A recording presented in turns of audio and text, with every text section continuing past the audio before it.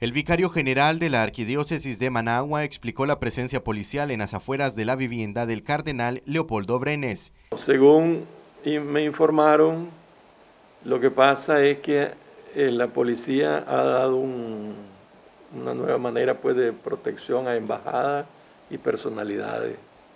Entonces, eh, por eso es que pusieron esa caseta allá afuera, para protección.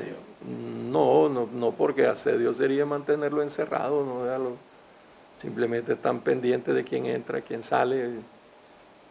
Espero que para protección del cardenal, pues eso es lo que nosotros.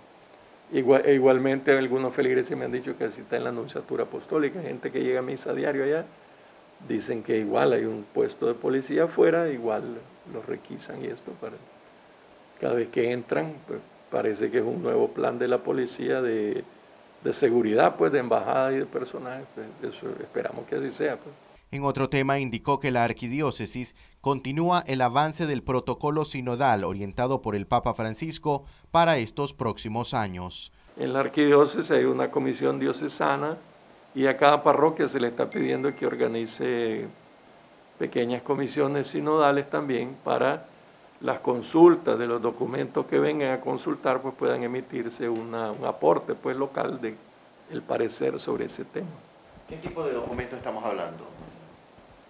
no sé, de documentos de consulta. Ahorita solo se ha hablado de sinodalidad, pues de tomar conciencia de que todo Pero eh, ahorita, honestamente, pues estamos a la espera de, del documento de trabajo, no sé qué lo quiera consultar el Vaticano, la otra vez consultaron sobre la familia, ya han consultado sobre la Eucaristía, han consultado sobre muchas cosas, pues, de cualquier tema que sea del interés de la vida eclesial y social, pues ese.